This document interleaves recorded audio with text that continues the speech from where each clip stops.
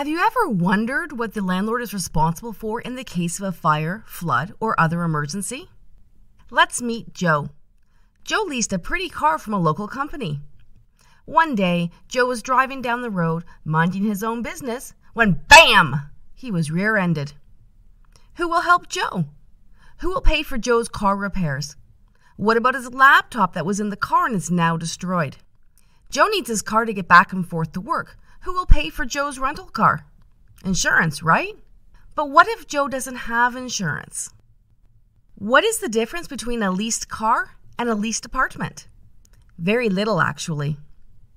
The landlord has very clear obligations to the apartment or the house that they lease. Section 20 of the Residential Tenancies Act RTA, identifies that a landlord is responsible for providing and maintaining a residential complex, including the rental units in it, in a good state of repair and fit for habitation. That means the landlord must repair the damage to the unit after the fire, flood, or other emergency. But they are not responsible for the personal possessions of residents. Did you know that most fires and floods are caused by residents and or their lifestyle or equipment? Consider this. A resident in 601 was filling a sink to wash dishes when the phone rang.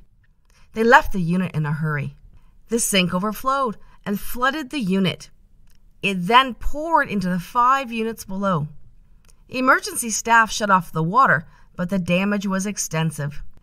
The furniture in many of the units also suffered significant water damage. Who is responsible to pay for the damage? The tenant in 601 is legally responsible.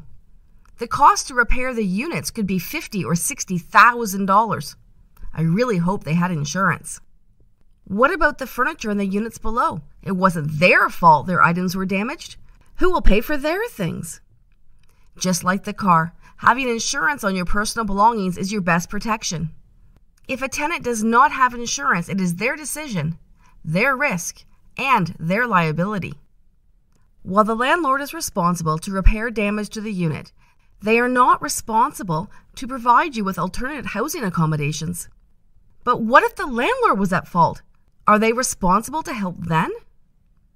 The landlord remains responsible to repair the unit so it can be lived in once again.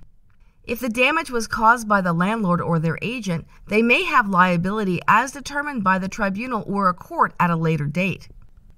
Is the landlord obligated to give the tenant their rent back if the unit cannot be lived in? If a tenant is displaced from the rental unit for any reason, their fault or not their fault, they maintain the responsibility to pay rent on the rental unit until a legal vacate date can be arranged, generally a minimum of 60 days' notice. This obligation does not end due to fire, flood, etc. However, if they have insurance, their insurance may cover some of these costs. But it wasn't my fault. Who can help me? Local agencies may be able to assist those in need. Consider contacting the Ministry of Social Services for emergency funding or the Canadian Red Cross.